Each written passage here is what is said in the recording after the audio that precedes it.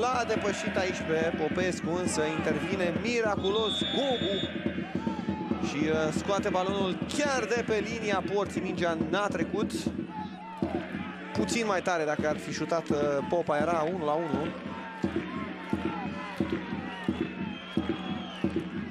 Mare de tot această ocazie pentru uh, UTA. Bună și pasa lui Enescu.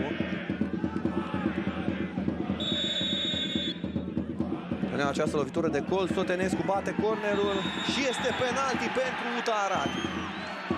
Penalti pentru UTA Arad după un faul comis de Hreniuc, cel puțin aceasta este decizia arbitrului și cartonaj galben pentru fundașul stânga de la FC Argeș Pitești. Ce moment, iată, după ocazia mare pe care a avut-o Popa, UTA poate egala în cele din urmă. Ia să vedem. Alea în brațe Reniuc pe un adversar. Iar arbitrul arată punctul cu var.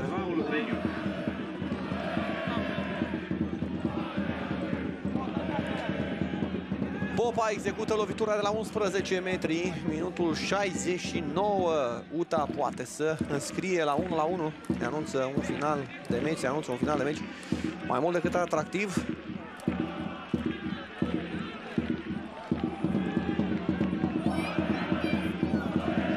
În fața golului 2 în acest sezon. Trage Popa!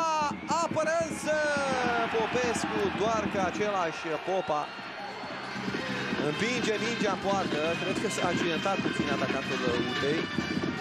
Strânge din dinți David Popa 1 la 1 în Uta FC Argeș. A ghicit aici Popescu, însă și apoi să izbi de bară Popa. O fază ciudată. Bine că sunt accidentat mai, mai grav.